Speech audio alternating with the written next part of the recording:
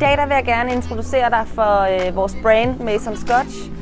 Øhm, det her mærke, det forbinder jeg en lille smule med LA og surfing og øh, øh, lækre jeans, øh, som er afvasket, fede t-shirts med print og masser af etniske detaljer.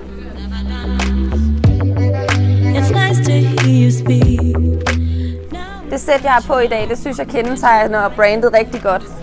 Jeg har taget de øh, forvaskede grå jeans på med masser af rå lynlåse.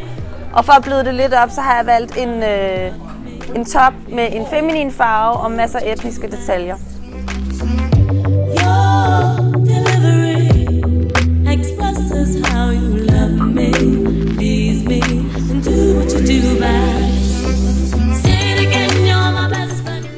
Vil bruge brandet i lidt mere nedtonet sammenhæng, øh, så kan du bruge en af deres øh, vaskede sweatshirts med print. Rimelig rolig sweatshirt, så kan du sætte en spraglet skjorte ind under, eller bare bruge dem til et par klassiske jeans.